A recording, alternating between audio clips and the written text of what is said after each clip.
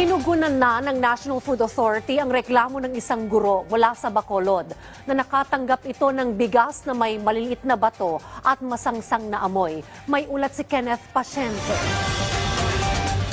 Malaking tulong para kay Grace na isang guro sa Bacolod ang one-time rice subsidy na ibinibigay ng pamahalaan. Pero dismayado siya dahil ang natanggap niyang bigas kamakailan, manilaw-nilaw na, may maliliit pang bato at mabaho. Hindi niya tuloy na pakinabangan. Excited.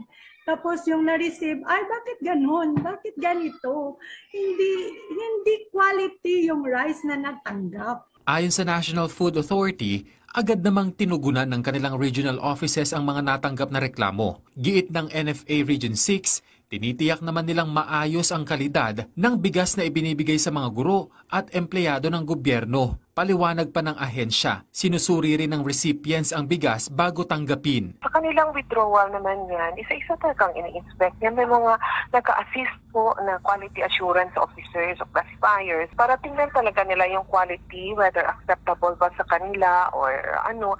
Dahil um, kung okay sa kanila, pinipirmahan naman din po nila yan na uh, nagko-conform sila doon sa quality ng na-withdraw nila. Pero sakaling may makalusot na hindi magandang klase ng bigas, handa naman ang NFA na palitan ito. kung may makita sila na hindi kaaya-aya sa kanila, hindi acceptable sa kanila ang quality, ibalik lang po nila sa amin, sa NFA, at i-replace po natin. Agad ding pinaimbestigahan ng NFA Central Luzon ang kaparehong reklamo na kanilang natanggap. Sabi ng NFA, hindi maiwasang maapektuhan ang pagkakaimbak ng bigas sa bodega. Pero hindi naman nangangahulugan na hindi na ito ligtas kainin. Dapat din daw isipin ng recipients ng one-time rice subsidy na hindi kapareho ng commercial rice ang ipinamamahagi sa ilalim ng programang ito ng pamahalaan. Yung atin po ay ordinary rice lang na ah, variety na binili natin sa farmers and siya po ay well milled lang, hindi po siya ah, super polished na talagang kasimputino nasa palengke. Giit naman ng Department of Agriculture, titiyakin nilang magandang kalidad ng bigas ang ipinamamahagi ng NFA. as expected, ano, kasi sa buffer stock sila.